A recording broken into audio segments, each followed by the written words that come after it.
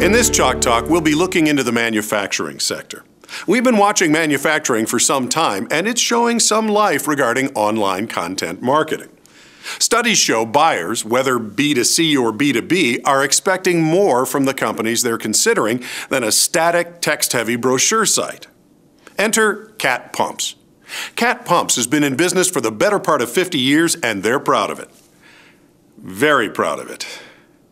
Very, very proud of it.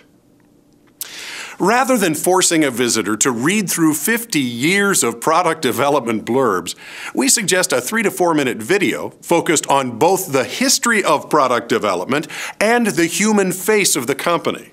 CAT isn't run by robots, it's run by people who are there to help solve other people's problems. It's about people connecting to get something done that's good for all parties. The Cat Pump site is pretty good looking and well organized, but I didn't find any social media, no blog, no Google Plus, Twitter, or Facebook. We would start with blogging. The blogs could focus on new technologies and case studies where a cat pump made all the difference. At least some of the case studies should be short videos showing the pump in place and working efficiently. You might even show the installation process. I searched the site for video with very little luck until I stumbled across how cat pumps work. They aren't videos, but they are kind of cute. Unfortunately, once I've seen these, there's no reason for me to return to this page again. Then I found service videos. I immediately sprang into action by clicking the link provided and was greeted with, well, abject disappointment to be candid and frank.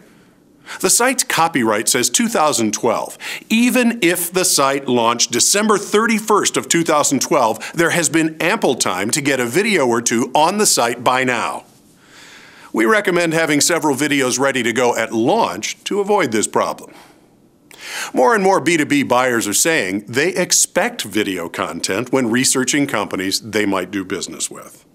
So, no case studies, no blogs, no videos. Are there any testimonials here? After more than a little searching, I found testimonials. Two levels down under dedication to quality. Given the opportunity to talk with the good folks at Cat Pumps, I'd ask why they're hiding their testimonials. These things are gold. Get them up front, or at least have a link to them on the first page. Upon further research, I did find a link to the testimonials on the first page, way down here.